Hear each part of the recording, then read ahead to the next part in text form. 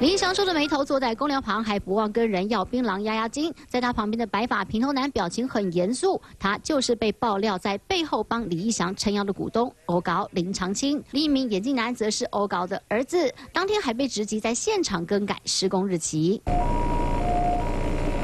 救护车救难人员来来去去，但酿下大祸的李义祥却一点事不关己。甚至警察来了，他插着手嚼着槟榔，面露不耐。问完讯息，被带离现场。早上九点多啊，呃，工地主任靠我呀。嘿，阿公发生啥物代志？公公公家好啊。我有经过来关心经过来啊，已经多十一点买款啦。有网友拍下当时播顶照片，除了李翔外，还有一名男子一度传出是联合大地的劳安员，还被网友质疑为何把羽绒衣穿上。但事后当事人澄清，他其实坐在二车。另一张照片则是聚集越来越多人，看起来人数众多，但不少是劫后余生的乘客。整个火车已经下来了，和平隧道。这边是什么地方啊？清水隧道这里出状况。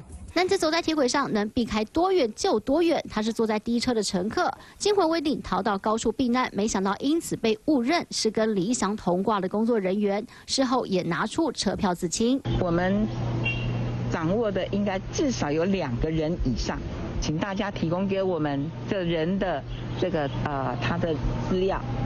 所以有怀疑是假日违法施工吗？